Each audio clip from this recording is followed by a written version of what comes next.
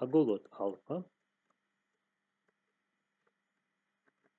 е даден и тој изнесува 45 степени. Се бара името, односно бројот на страните n.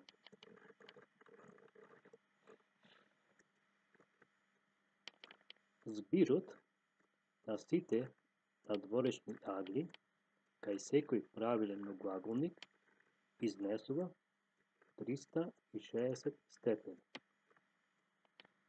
Сите надворешни агли се еднакви, што значи n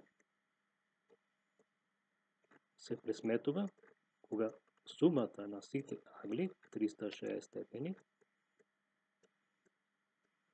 го поделиме su nadvorešnji odlagov alfa.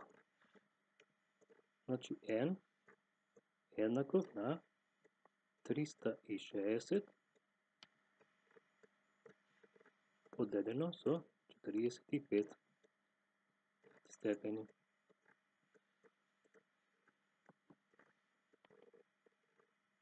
Znači, brojot na strani n je jednako na 8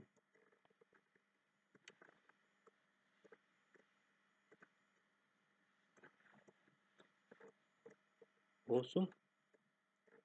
Agonlik